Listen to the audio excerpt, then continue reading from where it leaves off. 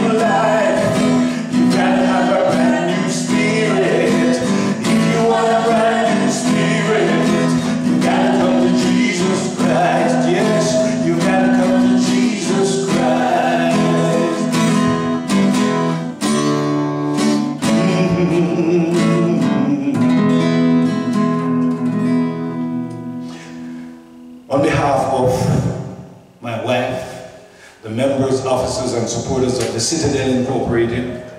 This is Floyd Antonio. I just want to wish you a very pleasant good morning, if it's morning where you are, evening, night, or whatever time it is in your corner of this beautiful world that we live in. And may I just say to you, welcome to this hour of worship. Thank you so much for joining us. We do appreciate your contributions your support, your prayers. As a matter of fact, let's ask the presence of the Lord to come and take over this time, this morning. Will you pray with us? Father of all creation, we thank you for your goodness, your mercy. Thank you that from everlasting to everlasting, you are God. There never was, never will be any who compares to you.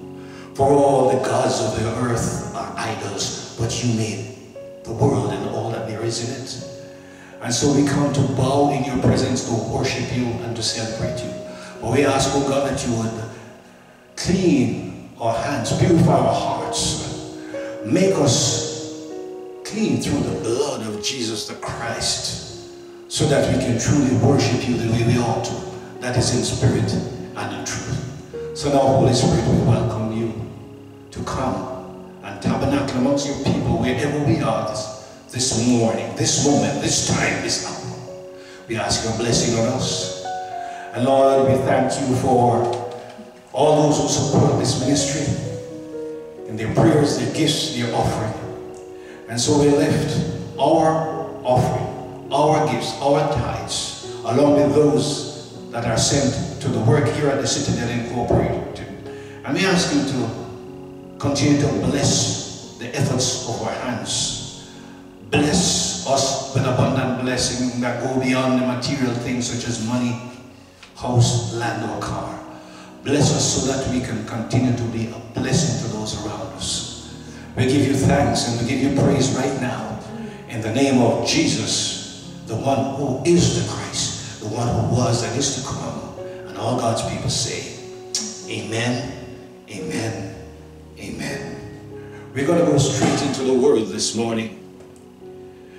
And we ask you that you follow along with us. This is the fifth in the Dream series. Last night we had a visiting guest, my niece, Pastor Marlette Pottinger, from Jamaica, and what a powerful message that was. If you missed last week, we do invite you because it flowed in the series, the Dream series. Today, we want to start with a phrase knowing what you need to know. This is what we focus on in this message in the Dream series. And I'm not going to be preaching at you. We're going to share the word this morning. And I want to relate a dream to you that occurred in the third year of Belshazzar's young man had a vision after that one that he had before. So this would have been his second vision. And I want you to see him as he, the vision appeared. In it he saw himself in the city of Susa, the citadel there, in the province of India. And in the vision, he was beside the Ulai Canal. And may I just say here at the start, that Ulai was the Hebrew name for a river near the city of Susa. To the Greeks, it was known as Elios. But this young man, he looked up and in that vision, right there before him was a ram with two horns standing beside the canal. Now, one of the horns was longer than the other, but it grew up later. He watched the ram as it charged towards the west and the north and the south. No animal could stand against this long-horned ram, and none could rescue from its power. It simply did as it pleased, and this long-horned ram became great. So in the dream, this young man and by now, you know I'm talking about Daniel.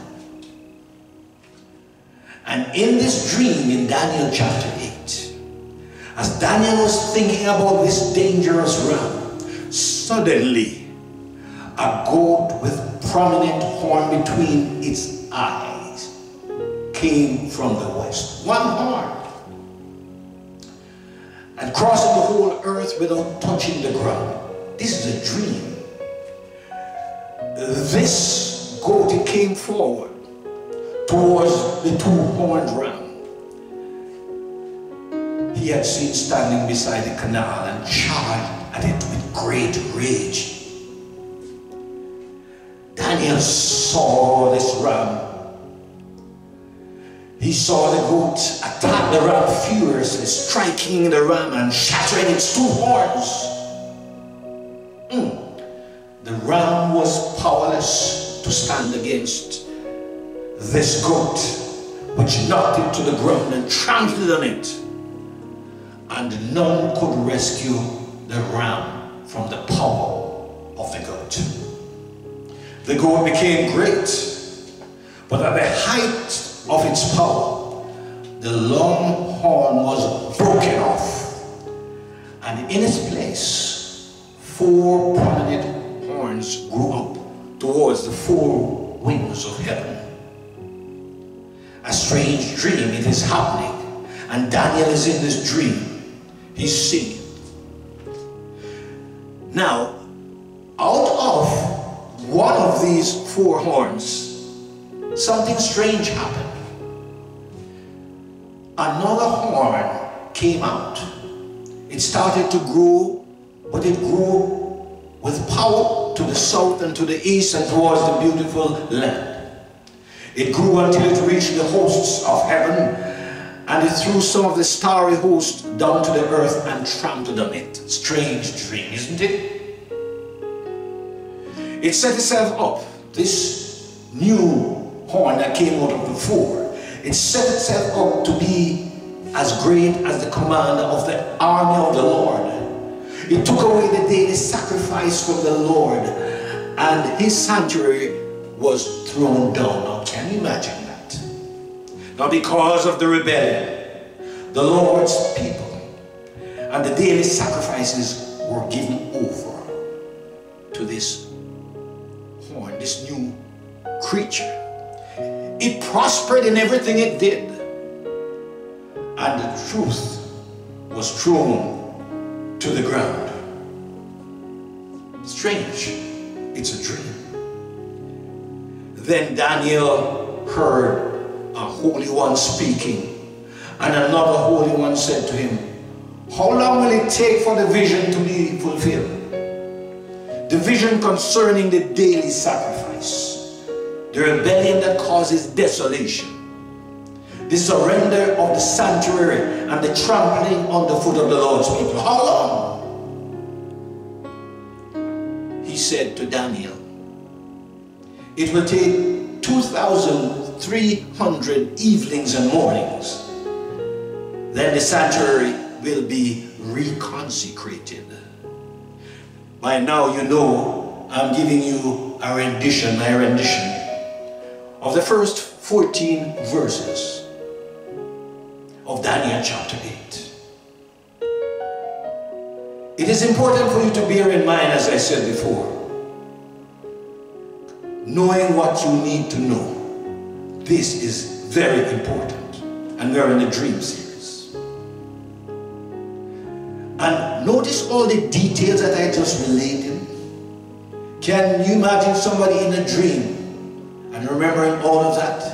And that is why at the start of the series, one of the instructions we got was to write the dream, record it as soon as you can so you don't forget it. Very important to write your dream. Now, if you're casually associated with the scripture, you will know that this dream just related has been fulfilled except for one portion which pertains to the distant future. But stay with me, can you visualize yourself in a dream such as this? Have you ever had a dream? Can you imagine even a more compelling dream in which you are not only seeing it, but you are a part of it. This is what Daniel was experiencing in chapter 8. He was not only observing, but he was a participant in the dream. This dream or vision is one of those encounters that you cannot easily forget. It's not one that you can forget as soon as you wake up. No, no. Talking about dreams, I've been having a number of dreams since I started the dream series, and I haven't related any of them to you. But let me tell you this the very day when we did the introduction to this dream series, it looked like we got the devil upset, and I'm glad we did. Because that very night, I had a dream. And in that dream, I dreamt that I went to a house, a fairly big house. And I've been a teacher for those of you who know me. I went there, it seemed, to teach a youngster, a little boy. And he seemed to have had some problems. He seemed to have been neglected in the house. So I taught him and I related to him, encouraged him. And then his mother came in and said she had to leave for some function, but the little boy's father was to come for him shortly. So I encouraged the little boy, gave him positive words, and then his father came. I didn't see the father, but the father came in a hurry, said, son, hurry, we've got to go. And this little boy was getting dressed, but something went wrong with one of his favorite pieces of garment, his pants. The zipper, something went wrong with it. I fixed it for the little boy because I saw that he wanted to wear that pair of pants. And he came to me and he hugged me, he said, thank you, you're a good man. And he left. As soon as he left the house with his father, the place took on a different scenario. One that obviously intended to scare yours truly. It's as if all kinds of strange creep human beings turned up in that house and I could tell immediately that these were not servants of the Most High. They were representatives of the devil. And the Spirit of the Lord arose in me in my dream. And all of a sudden I found myself walking around this big house, rebuking all these spirits. At one point I found myself with a pair of scissors in my hand, just rebuking them in the name of Jesus, casting them out of the house. And then when it seemed as if things settled down, an angel appeared in the form of my mother. And she said with that pleasant voice, it's okay, Floyd. It's okay. You can leave now. And I was getting ready. I walked out on the balcony to pick up something. And one of the demons came back, it seemed, as if to try to hurl me over. And I rebuked it again in the name of Jesus Christ. I woke up to ask the Lord what was happening. And then I heard the answer. He was upset. He's still upset with all of these messages pertaining to dreams. You see, because dreams can be confusing, as was said earlier on. But when you have the power and the presence of the Lord in you, I'm getting ahead of myself. Dreams are important. Real dreams when God speaks to us. Dreams. I won't tell you all the dreams because I've been writing them down. But compare that dream that I just related to another dream that I had just two nights ago. This one, more pleasant. And strange enough, again, I went to a house, it seems, to teach a young student some music. Beautiful family it was. And after that, they assigned me a room. When I was finished, we sat down for a meal, very pleasant family. And then I was getting ready to go because I got the impression as well that they had a function to go to and my time there was supposed to be over. So I was about to go back to my room to pick up my equipment and leave when suddenly there was a flip. the scene changed, my God, to a most beautiful scenario. I was no longer in a house. But after that pleasant meal and I agreed to leave, the place suddenly was transformed into the most beautiful and spectacular palace with hundreds of people dressed in elegant, radiant attire as if awaiting a super special guest.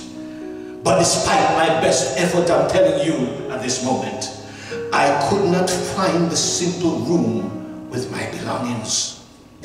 I ended up walking around the palace. Huge mansions for what seemed like hours.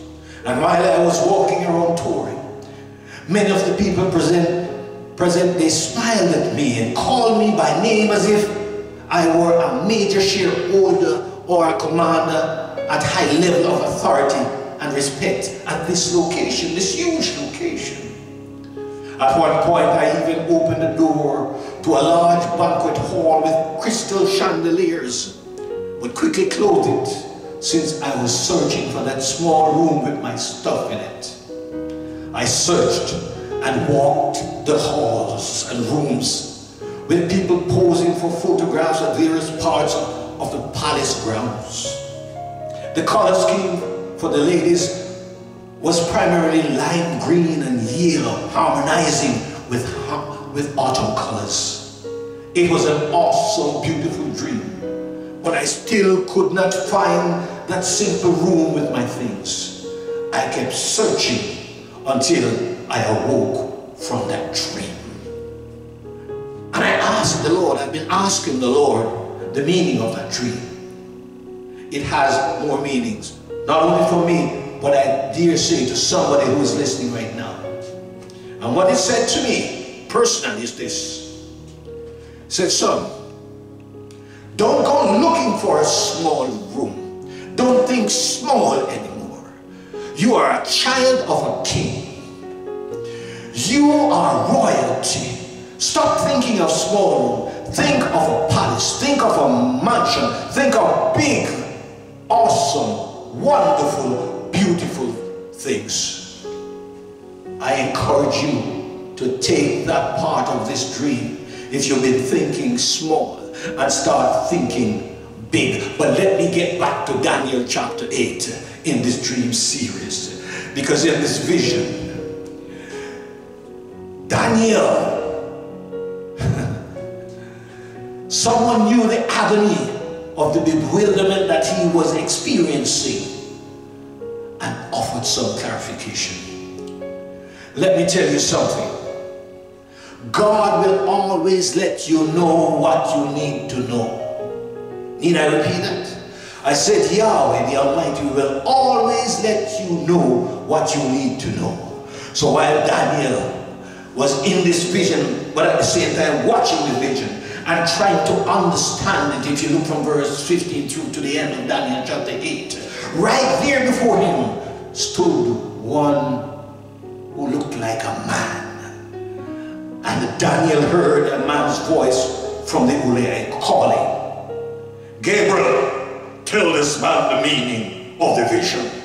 I tell you, God will always let you know what you need to know. So as he came near to the place where Daniel was standing, Daniel was terrified and fell prostrate. Son of man, he said to Daniel, understand the vision concerns the end. You need to understand it concerns the end. Hmm. While Gabriel was speaking to him, Daniel was in a deep sleep. I said he was seeing the vision and experiencing the vision. How awesome can that be? So he was in a deep sleep with his face to the ground. Then Gabriel touched him and raised him to his feet. Have you ever been touched by an angel? Can you imagine being touched by an angel of God? How awesome that can be. I have had experiences, I can't go into those this morning. But angel touched Gabriel. Gabriel touched Daniel and raise him to his feet. I am going to tell you what will happen later in the time of wrath, said Gabriel, because the vision concerns the appointed time of the end. The two horned ram that you saw represent the kings of Media and Persia. You see, dreams can be confusing unless there is some clarification. So Gabriel continues. The shaggy goat is the king of Greece, and the large horn between its eyes is the first king. The four horns that replace the one that was broken off represent four kingdoms that will emerge from his nation but will not have the same power. Gabriel continues to talk. In the latter part of their reign, the four kings, when rebels have become completely wicked, a fierce looking king, a master of intrigue will arise. Let me repeat that. Let me repeat that. Wicked, a fierce looking king master of intrigue will arise. He will become very strong, but not by his own power. Remember this. Strong, wicked, but not by his own power. He will cause astounding devastation and will, and will succeed in whatever he does. I want you to remember this. He will be strong and powerful, but not in his own power. He will be successful in whatever he does. He will destroy those who are mighty, the holy people. Hmm. He will cause deceit to prosper. And he will consider himself superior when they feel secure. He will destroy many and take his stand against the prince of princes. He will try to take his stand against the capital prince of princes. Yet he will be destroyed, but not by human power. Mm. It tells us by the time you get to the last two verses that the vision of the evenings and mornings that has been given you, says Gabriel, is true. But watch this. Seal the vision, for it concerns the distant future. Seal the vision because it concerns the distant future. By the time you get to the last verse of that eighth chapter of Daniel, that verse 27 tells us that Daniel was worn out and lay exhausted for several days. Then he got up and went about the king's business. He was appalled by the vision. It was beyond understanding. Even though, because you have to remember that this was going to take place uh, hundreds of years after his time. But God will always let you know what you need to know. Let me pause and say something right here. No matter how drained you are after a spiritual encounter such as a dream or a visitation, do not use it to avoid your duties, to avoid your responsibilities.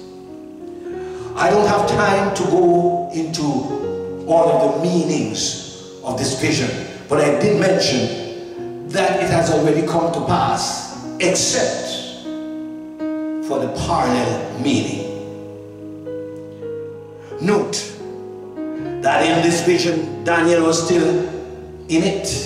But he saw himself on the shore of the Persian River. He heard Gabriel giving the instruction, an explanation, an assurance that the vision had to do with what? The end times. Latter times. Now for some of us it may pose a problem because I did say it happened already.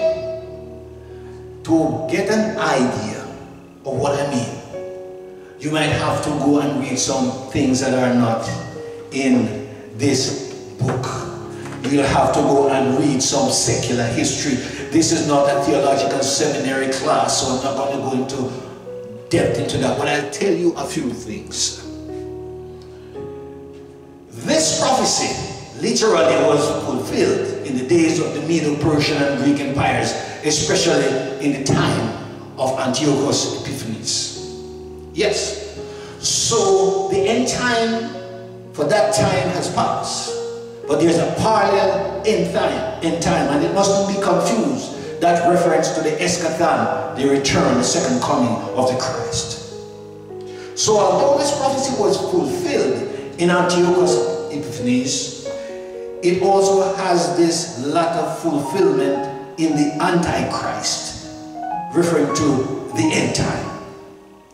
Antiochus Epiphanes prefigures the Antichrist of the end time. He is sometimes called, this Antiochus is sometimes called the Antichrist of the Old Testament. So just as he rose in power with force and intrigue, so will the Antichrist of, let me say, our time. He persecuted the Jews in his time. He stopped sacrifice and desecrated the temple. The Antichrist is going to do the same in our time. Antiochus seemed to be a complete success when you read the secular history. When you read Maccabees. But based on what Antiochus did to the Jews in his day, one may be able to perceive with confidence that the Antichrist will do the same towards the end time. not preaching at you, just slowly going. The Antico, the Anti, the Antiochus Epiphanes was a product of Greece with all its refinement, culture, and arts. The Old Testament anti Antichrist. Yes? Antiochus. Can we not reasonably argue today that so many of the so-called Christian nations may be sponsoring the New Testament Antichrist because we are compromising the gospel? worshipping men instead of giving credence supreme to the King of Kings. Let me tell you that the Antichrist of the Old Testament was dangerous and it gives us an idea of what we can expect for the phase two Antichrist. I am not going to give you all the details, but let me just tell you some things that you won't find in the Bible explicitly because you can't write everything in it. But what is written in it is more than enough to tell you that God is supreme. Remember I told you about the Lord, the large horn between the eyes. That, that goat, that was the first king. This was fulfilled in the history when you look at Alexander the Great the four kings, that section was fulfilled when you look at what happened after Alexander the Great passed and his domain was split up between his four generals. So that has already happened.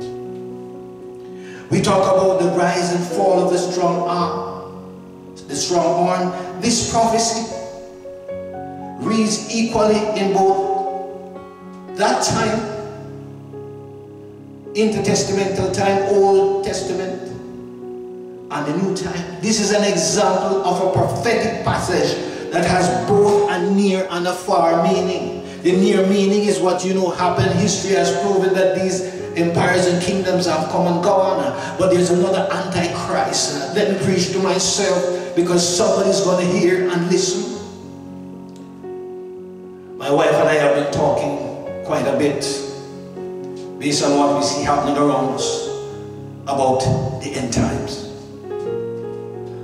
But if you and I are to survive and stay faithful to the King of Kings, mm, there are some things that we need to understand and remember. So let me tell you some things about this Antiochus Epiphanes. He was known for his cruelty, his brutality. Some have said that he is responsible for the death of as many as a hundred thousand Jews in his time. See this as a picture of what could be true at the coming of the parallel Antichrist. Desecration of temple and places of worship. The Antichrist will be responsible for the death of thousands of Christ's followers. Mm. this Antiochus was known for flattery and smooth tongue. The Antichrist that will come will strike a covenant with God's people. So you have to be careful. He will be so smooth. And let me just pick something from the next chapter of Daniel, verse 27 of chapter 9. He will confirm a covenant with many for one, seven. In the middle of the seven, he will put an end to sacrifice and offering. And at the temple, he will set up an abomination that causes desolation until the end that his decree is poured out on him. This Antiochus was empowered by Satan, but God was allowing him to run to the end of his rope. The saying is true of the coming Antichrist. This Antichrist of the Old Testament presented a picture of total success. The coming Antichrist will look like a complete winner until God topples his reign. So it's not every success is success, but only God can give you the power to discern.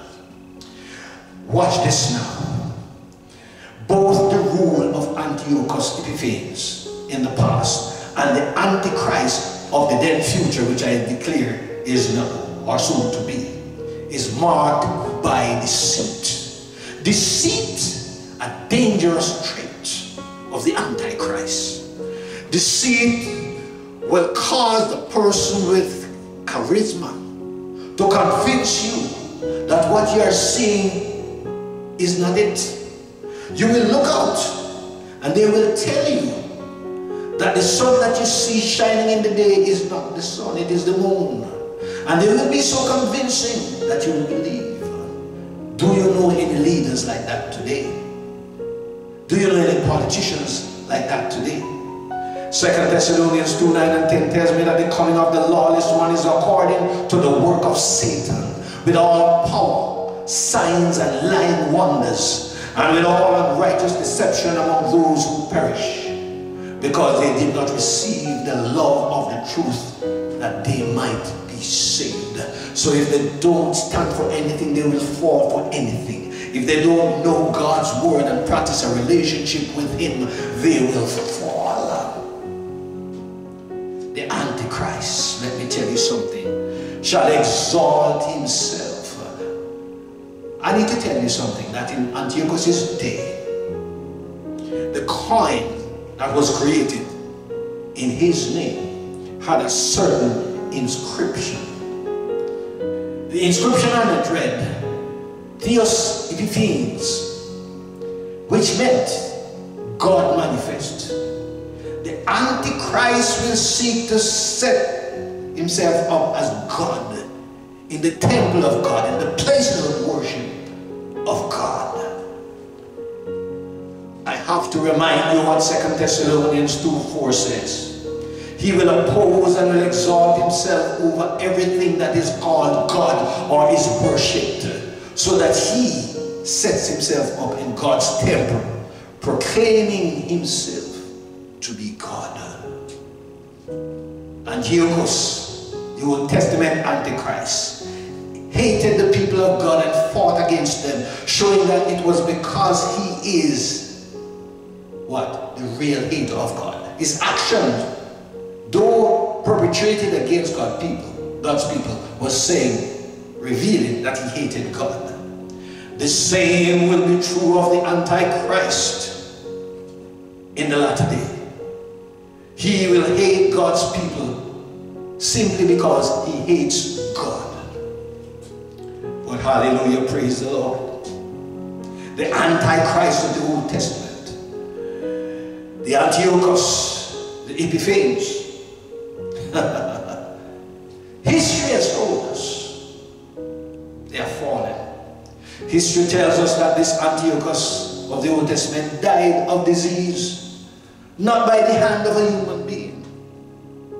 Similarly, no man will defeat the coming Antichrist, but the hand of God will bring about his demise. I said the hand of God will bring about his demise. Daniel. Hmm. I have to let you know that when you read the book of Daniel, even this chapter, you cannot help but think of the last book of the Bible, the book of Revelations. Let me borrow a verse from here. You see in this vision, Daniel was instructed to seal the thing, put it away. It wasn't for his time. But look what happens in Revelation 19, verse 20. But the beast was captured, and within the false prophet who had performed the signs on his behalf. With these signs he had deluded those who had received the mark of the beast and worshipped its image. The two of them were thrown alive into the fiery lake of sulfur. But in Revelation, it's going to be open. Daniel must seal up the vision because it is in another time. Revelation 22 verse 10 tells me this. Then he told me, do not seal up the words of the prophecy of this scroll because the time is near. So Daniel was told to close it. It wasn't that time. But in the latter time, it's going to be open. So before I close this morning, there are some principles and warning signs for us in this chapter. The dream in Daniel's time in chapter 8 is primarily about the rise and fall of the so-called great empires of the past. But remember this. And let me quote the Bible so you don't think it's my opinion. Remember this. Let me just borrow something that is from Daniel chapter 2 verse 21. It is Yahweh the Almighty who changes the times and the seasons. He removes kings and establishes kings. He gives wisdom to the wise and even more knowledge to those who have understanding. Daniel 2 21.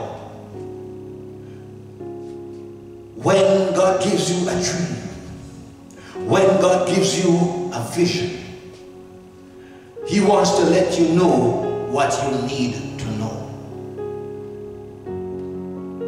If it is not immediately clear to you, He will provide an explanation of what you need to know, like Gabriel was sent to do in Daniel's time. Yes, when you get a dream or a vision, the dream may be one of correction or warning. The dream, the vision may be one of consolation. The dream may be a short-term prediction or a long-term prophecy. Sometimes the dream, the vision, the visitation is not for your time but for a distant period.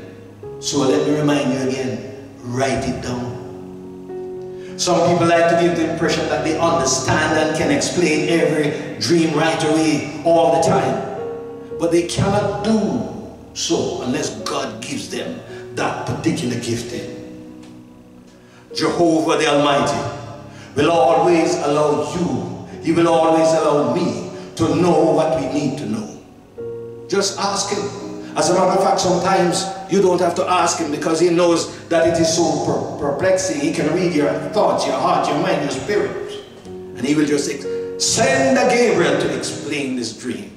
Pray that prayer when you have a dream that you cannot understand. Say, Lord, send a Gabriel to explain this thing. Let me understand. So here, before I close, is a warning for the so-called nations and rulers of our time of today.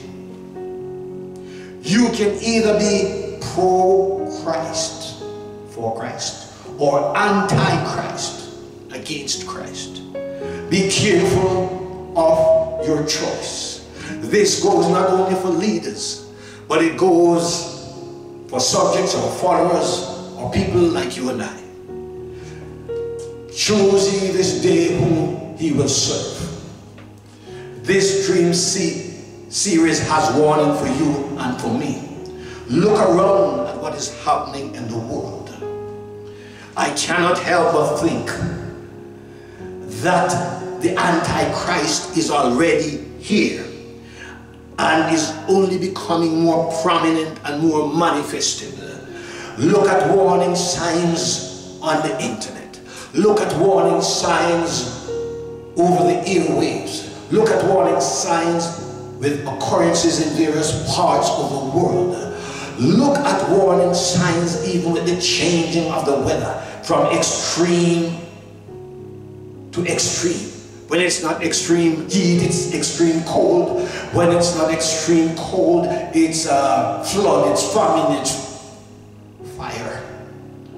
The wickedness of men seems to grow worse and worse. Men have spent the majority of the day designing the most dangerous weapons of mass destruction, threatening to use them at any time. At any moment, something could happen. I cannot lie to you and tell you that is going to happen tomorrow. I don't know, but I can tell you this. With what is happening on the internet and the easily availability of the gospel of Christ to all and sundry, Pretty soon, no one will have an excuse that they didn't hear the warning. Don't seal the dreams that you get. Don't seal the message that you're getting today. Open your heart, your thoughts, your minds and soul. Start if you haven't done so by accepting this Jesus the Christ. Ask him to fortify you, to strengthen you, so that when you get your visitations and your dreams, uh, you'll be sure to get clarification. Ask him into your heart if you have not yet known him. Say, Lord, come into my heart, my mind, my soul, my spirit, my entire being. I accept you as Lord. I renounce Satan and all that the Antichrist stands for. Jesus, I'm giving myself to you voluntarily now. And if you say you are Christ, follower, kingdom, citizen, or witness of the gospel of Christ, uh, let us start living. Let's go deeper and deeper into the world and don't discard the visitations that God has given you. I'm not saying he only speaks to you in dreams and visions. But the Bible tells me that in the last days, he's going to pour out of his spirit on all flesh. The young men will dream dreams and the old men will have visions. Mark my word and be ready. Do that today. Father, in the name of Jesus, we thank you for your word, which is from everlasting to everlasting.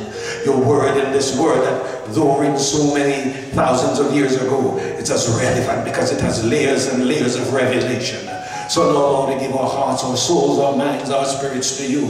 And we ask, oh God, that when we go to bed each night, we will, will give ourselves to you before we go to sleep so that you can access our entire being and reveal your will to us. Now, Lord, make your people strong in these days so that no weapon will succeed against us. Let us be the remnant of those who wait for your, your return, but not idly, but represent your gospel.